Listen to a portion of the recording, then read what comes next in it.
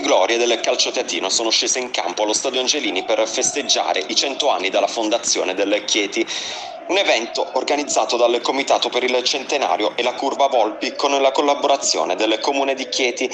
tanti gli ex volti noti della squadra, in particolare i protagonisti delle formazioni delle stagioni 90, 91 e 2000, 2001 che hanno centrato la promozione in Serie C1, tra cui Sgherri, Consorti, Picconi, Feola, Giovanni Pagliari, Morganti, Presicci, Sabatelli, Di Matteo, Corneli, Di Meo, Lancioni e ancora Santarelli, De Petri, Battisti, Max Barni, Aquino, Tacchi, Marchetti, Bellandrini, Padolecchia, Rutolo, Ali Alidori, oltre alle colonne delle Chieti femminile Giulia e Giada di Camillo con in panchina Gianmarinaro e Lucarelli dopo l'amichevole alle 19.22 orario che rievoca l'anno della fondazione della società, il corteo dei tifosi partito da Piazza Valignani giunto fino a Piazza Malta dove tra birra, arrosticini e tanta buona musica è proseguita la festa per i 100 anni del Chieti.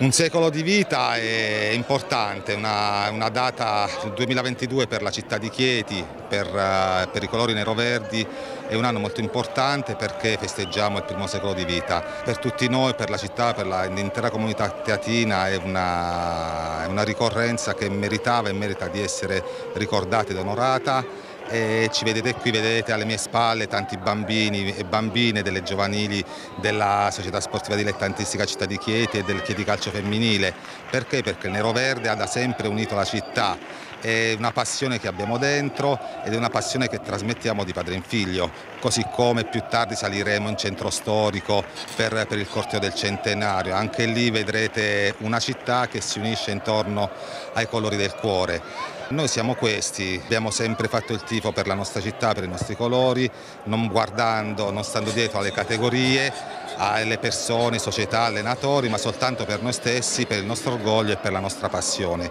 Come diciamo sempre, forza Chieti.